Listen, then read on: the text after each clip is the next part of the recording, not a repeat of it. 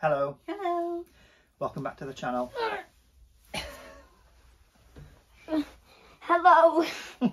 Um, in today's video, we're going to be talking uh, about regulating, which is why Max is in his body stocking. Um, we'll be covering what regulating is, uh, how Max in particular does it, uh, why it helps him, um, and maybe suggesting some ideas for ways that people can regulate when they're in public uh, and they maybe are not able to do exactly what they need to do. That sound good? Yeah. Okay. Okay, so what is regulating, Max? Well, regulating is, well, something that I need to do when stuff have been too much and I need to be on my own for a while and So what kind of things might make you need to regulate? say that someone say that someone makes me really really mad and I need a place to calm down. Okay. Or what about if it's a noisy environment, maybe? Yep. Or if something has changed, like we had a change the other day um, with one of his activities. We had to do it in a different room, um, and that then meant afterwards he needed to regulate. So how does it feel when you need to regulate? How does it feel inside before you before you are able to go and do whatever you need to do? Scary. Scary. It's like this alarm that goes like that I can hear in my brain. And like it says, you need to regulate now. You need to be in your room away from everyone. And then I do that. And how does it feel if you're not able to go and do that? If you're somewhere you can't get back to your room to do that. Like, say if I'm out in public. Yeah, so you're in public or yeah, we're out of the house. How does it how does it make you feel when that alarm goes off and you can't get here? Like, I don't know what to do. I need to keep it in. Like, I get anxiety. Yeah, anxiety about Like, I'm worried that I might lash out Mhm. and make people It's okay to say it. Make people like like wondering what's wrong with me. You're worried that you might do something that embarrasses you as well. Yeah. Yeah. Hmm. Can understand that. I can understand that. Yeah. So, what are some of the ways that you regulate? Well, it's one of the ways that I went. What? One of the ways that I It's regulate. hard to say, isn't it? I was gonna say regulate. Sound like Elmer Fudd. Yeah. You have other sensory toys as well, don't you, that we can take with us? Yeah. I can. Um, I can get the entire. Bag. Yeah, if you want to. Get the entire. Yeah. Okay, so what's that? An entire sensory kit. Okay, and how how does that help? Well, it makes me feel more calmer. Like this thing. Okay. So you have different things for different senses. So you have some things for touch, some things for sound, some, Some things for smell. Smell, yeah. Smell's a big one for you, isn't it? Bad smells can make you feel really anxious, and Yeah. good smells can really help you stay calm. What about the lights in here? What what do we do with the lights in here to help? Make them green Yeah. and turn off the light. Yeah. And me being under my weighted blanket. And your weighted blanket really helps, doesn't it? So, do you remember before the pandemic when we used to have to go shopping in the supermarket? Remember what we used to do to help you um, get through the supermarket? Because the supermarket's really bright and noisy and lots of strong smells and hot and cold, and you used to find that quite difficult, didn't you? Yeah. So, do you remember what we used to do to help you? We would get a blanket and you would sit under the blanket in the trolley so that you could block out, you'd have your ear defenders on, so you could block out the noises and you could block out the lights and be able to be as close to being in your room as you could be. And we've done that in restaurants as well. hmm We've gone under the table before, and it's Yeah. made like a den where you can eat your food.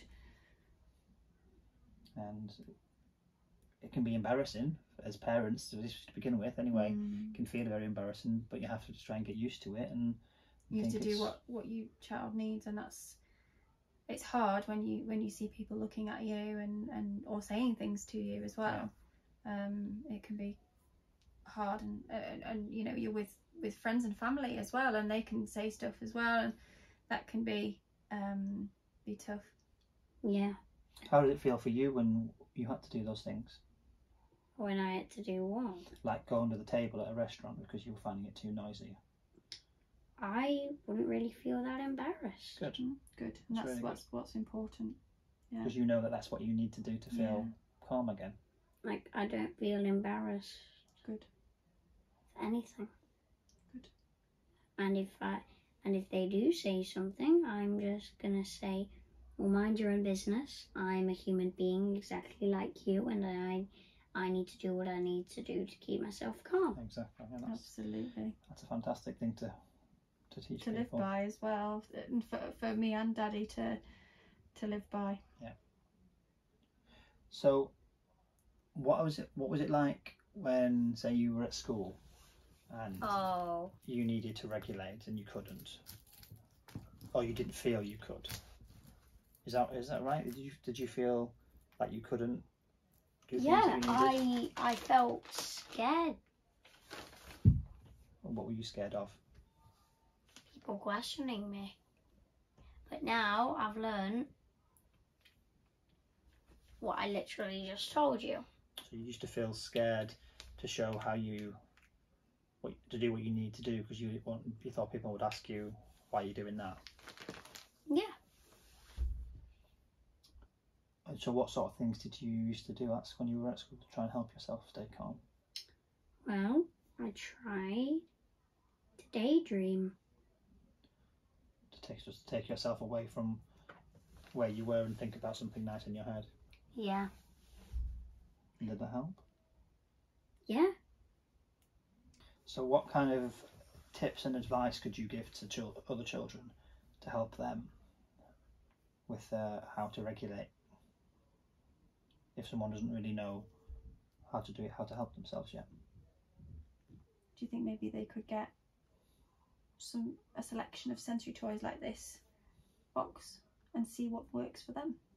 Yeah. And what about if they were at school and they needed to regulate and they couldn't? Is there any other tips or suggestions you can you can think of? What instead of daydream? Yeah, is anything else they could do? Well, one of the things that helped was you guys telling them stuff that I need, but I was too embarrassed to tell them because I was like, Did you feel like you had to pretend that you were fine even when you weren't? yeah, I, I, I, like I did, like I didn't want anyone to find out. Um, That you needed those things. yeah, What did you think would happen if they did find out?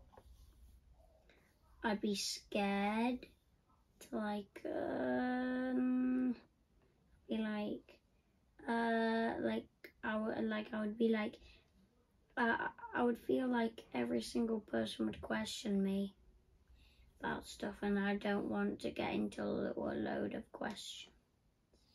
You think would you were you worried that they wouldn't be your friends still as well? Yeah, Did that happen? Because some a lot of your friends now, you tell them about your PDA and how you feel, don't you? yeah. And are they still your friends? Yes, but it was like about the stuff I needed at school. Right. It was it was more them seeing you doing things that they might not understand, Mm. like being under a table in a restaurant, that sort of thing. Yeah. So because of that, Yeah. You've had a very good idea, haven't you? yeah, Something that you want to do. What's that? Can you tell everyone about that? yeah, but I'm not gonna go into full detail. No, I'm keep it a worried that hush hush. I'm worried that some some of you, I, I, I see you. I yeah, I see you. yep, yep, yep. You you you you you you you in the red. Yeah, I I'm, I'm joking. I, I don't know if any of you are wearing red. I'm just, I'm just pointing out random people. so what's the idea? Sensory stuff. Okay. To, to make our own sensory stuff, yeah?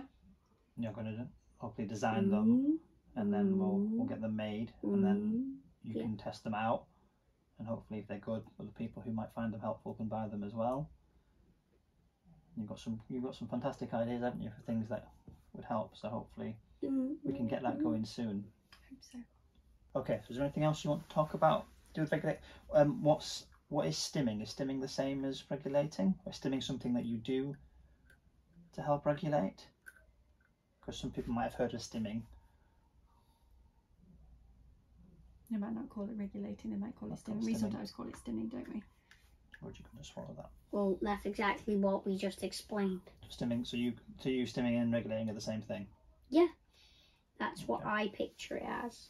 I don't know what any of you picture it as. Do you sometimes need to do stimming before something that you know is going to make you feel anxious to help you get ready for it? Yes. Yeah. So it's not always something you do afterwards when you Mm. are already anxious. It's something sometimes you do to help yourself get ready to do something. Yeah. Yeah. Sometimes you also need like physical Yeah, stuff as well, like pushing and pulling and spinning, yeah, like- like I like to do stuff. Because at school, at school you were supposed to have like push and pull. Yeah, but I was I was too scared to like. To ask for it.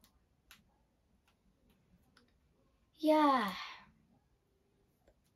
Did that mean that sometimes you didn't get it when you needed it? yeah. I I didn't want to like. Did it help when you did get it? Yeah, Did it make you feel calmer? it made me feel really calm. What happens if you don't regulate? You don't stim? if you keep everything pushed down deep inside for ages and ages and ages I eventually have a meltdown. and you explode. And then well, then how am I still here? not actually explode. And then after you've had the meltdown, do you feel better? Like you've let it, you've let it all out. Yeah, I feel way better. So in a way, meltdowns are a way of regulating. When Mm. you've not been able to do everything else to help you, and there's nothing else, there's no other option left. Having a meltdown is the way is your way of regulating. Yeah. Yeah. Yeah. When you can't do everything that you needed to do, then the meltdown becomes Inevitable. inevitable and the, the way to eventually regulate. Which is really interesting. So thanks very much for watching. Um, don't forget to like and subscribe, hit the notification bell as well, um, and drop us a comment about anything you want to chat about, any ideas you uh, have for ways that you could regulate or your children could regulate. Um, And don't forget to follow our Facebook page as well. We post there every day at six o'clock. Give or take the odd day where we don't. um, but most of the time we post uh, every day. okay, thanks very much. Make sure if you guys have any questions for us, we will make a Q&A questions and answers video just in case if you guys didn't know what it meant. Um and yeah, What if people don't want their question to be answered in public? well, you tell us that and then we then we'll make a private voice message. You, know, you do either a voice message or a video, don't you? Yeah, a video. You've done that for a few people where you've sent, particularly other children as well, you've sent Yeah, like videos back. Okay, thanks so much for watching and see you again soon. Bye. Bye. bye.